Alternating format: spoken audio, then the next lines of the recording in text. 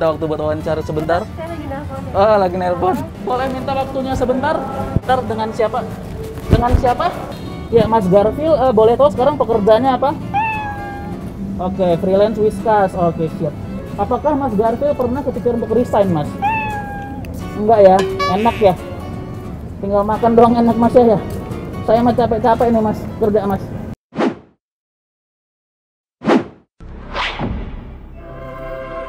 Halo sahabat King Supreme, saya Devan, demotivator tersertifikasi. Apa kabar kalian semua? Gimana lebarannya? Nyesel capek-capek mudik ke kampung, tapi malah tabungan habis. Kasihan. Sekali lagi harus saya ingatkan sahabatku yang Supreme. Masalahnya bukan soal pengeluaran kamu yang banyak, tapi sadarlah kalau pemasukan kamu yang bikin ngakak. Kecil. Tapi tenang. Apa solusinya? Nah, buat kamu yang pengen tahu solusinya, sama. Saya juga pengen tahu. Nyari solusi kok nonton Imso. Di Indonesia, budaya ketika lebaran itu banyak banget. Misalnya, pamer baju di Instastory, julidin saudara, kedoknya silaturahmi, atau yang lagi ngetren nih, cari jodoh dari sepupu sendiri. Tuh, tapi kok sepupu gua kureng-kureng, gak relate gue. Mudah-mudahan sepupu gua nggak nonton dah. Dan satu lagi nih, yang tentunya nggak kalah penting dan selalu jadi strategi para karyawan dan karyawati. Apa?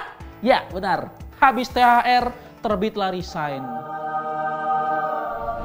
Nah, menurut Engage Rocket, 62% senior HR setuju kalau tingkat keterlibatan karyawan akan menurun setelah lebaran.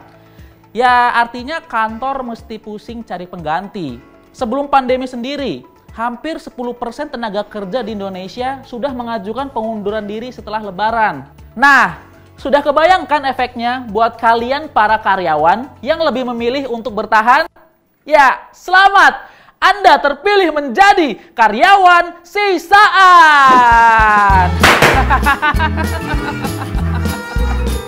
karyawan sisaan.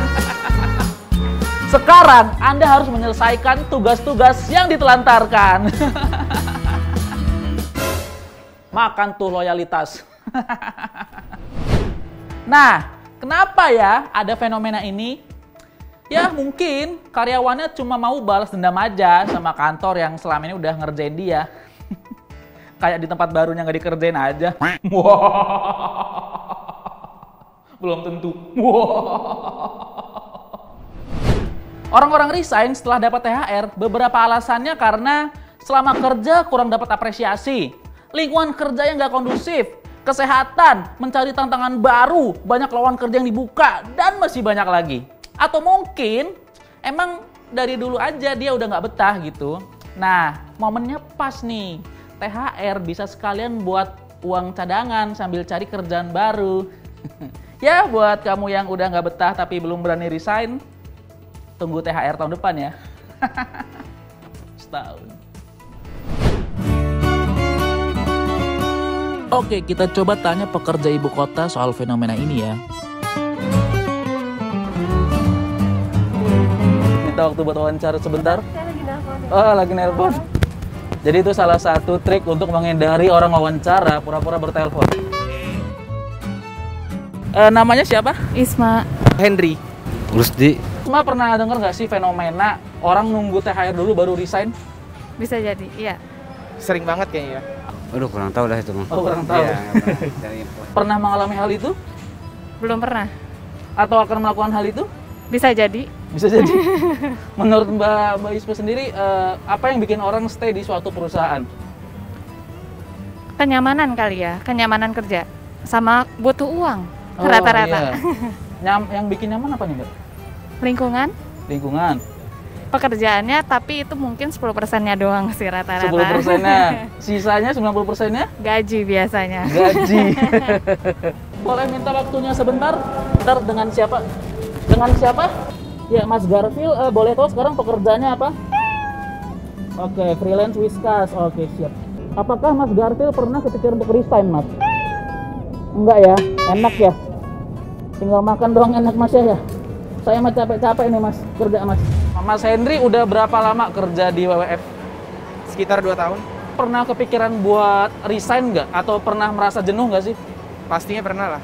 Kayak overwhelmed aja dengan aktivitas yang selama ini dilakuin gitu kan. Hmm. Terus apakah itu membuat Mas Henry untuk mikir, oh ya udah saya nanti akan resign dari sini? Ya sempat sih beberapa kali. Sekarang apakah masih ada pemikiran itu? Lagi belum kayaknya. Oh lagi belum. Mungkin eh, saya untuk menghilangi rasa itu eh, bisa hangout bareng teman Hmm. ataupun eh, staycation ataupun eh, beberapa saat keluar dari ibu kota gitu. Staycation di Bali kah? Enggak juga sih. Oh di Bekasi berarti ya? Iya bisa. Bekasi. Atau Bogor mungkin ya dekat sini ya. Bogor. Iya. Bapak apakah ada kepikiran ketika udah dapat THR Bapak akan resign?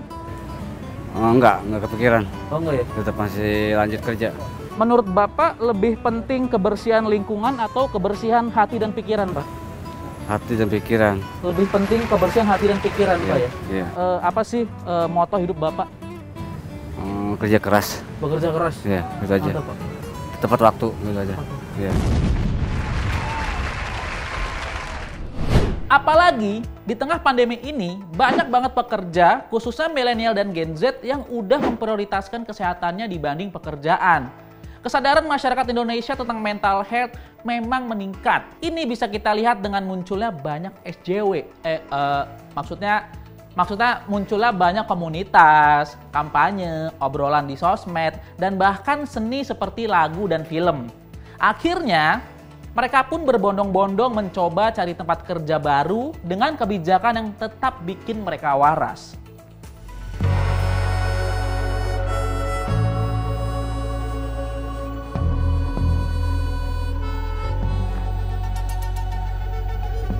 Masa sih kerja bukannya dapat gaji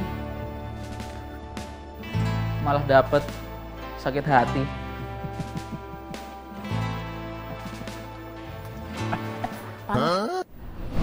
Di AS sendiri, selama pandemi banyak karyawan mengundurkan diri karena banyak faktor seperti nggak karena banyak faktor seperti nggak ada promosi dan sistem kerja yang nggak sehat. Fenomena resign secara massal ini disebut dengan istilah Great Resignation. Ditambah lagi, saat ini emang lagi banyak-banyaknya lowongan pekerjaan baru pasca pandemi. Nah, fenomena ini memunculkan istilah Great Attraction. Oke, jadi Great Attraction adalah fenomena di mana perusahaan memanfaatkan momen Great Resignation untuk menarik, mengembangkan, dan mempertahankan talent yang mereka butuhkan. Jadi, Great Resignation itu datang dari faktor dalam, yaitu perusahaan. Sedangkan Great Attraction muncul dari faktor luar, yaitu sisi kompetitor. Dengan kata lain, perusahaan berusaha memberikan kemasan atau branding yang menarik untuk memperoleh kandidat terbaik. Ngerti? Saya kurang ngerti sih, tapi ya nama juga imsol lah ya. ya jadi begitu, Besti. great resignation, great attraction, tapi tetap saja yang berpengaruh dalam hidupmu adalah great procrastination. Menunda-nunda pekerjaan. Saya tahu banyak hal yang bikin kalian gerah dan pengen segera resign dari tempat kalian bekerja sekarang. Tapi tentunya sebelum resign kalian perlu mempertimbangkan banyak hal. Pertama, sebisa mungkin kamu udah dapat kerjaan baru, Besti. Ingat, pemerintah Indonesia nggak kaya pemerintah Amerika yang kasih jaminan sosial ke warganya. Mereka mah pengangguran jadi profesi, tapi kita, oh tidak, Besti. Ingat, masih ada gengsi yang mesti dibiayai. Kedua, siapkan dana darurat. Uang THR-nya kalau bisa ditabung. Eh, tapi ngapain nabung dana darurat?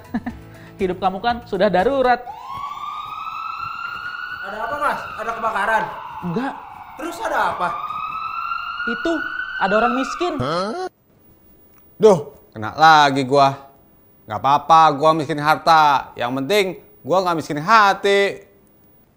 Wah, ternyata dia bukan kameramen, tapi dia wise man. Tapi tetap Besti, Nggak apa-apa kok putusin buat resign setelah kamu dapat THR. Wajar lah. Kan mental health dan cuan tetap number one. Nah, ini yang perlu dijadikan pelajaran untuk perusahaan. Tolonglah Bapak, Ibu, para bos sekalian, naikin gaji dan ciptakan suasana yang happy. Kenapa? Agar pekerja tidak kayak gitu.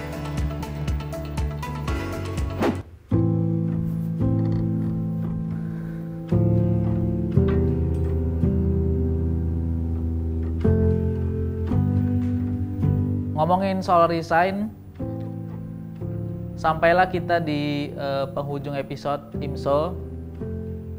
Terima kasih buat teman-teman yang udah senantiasa menonton, senantiasa berkomentar, senantiasa bahkan mencaci-caci Fani. Saya merasa terhormat dan merasa senang bisa menemani kalian semua selama 12 episode IMSO ini. Walaupun IMSO tidak ada lagi di layar YouTube kalian, tapi semoga IMSO selalu ada di hati kalian.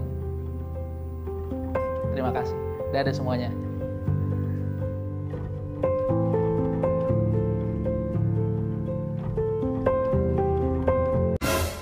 Tapi bohong. lo pikir gue bakal berhenti ngecengin lo? sampai gejol di atas UMR juga tetap bakalan gue ceng-cengin.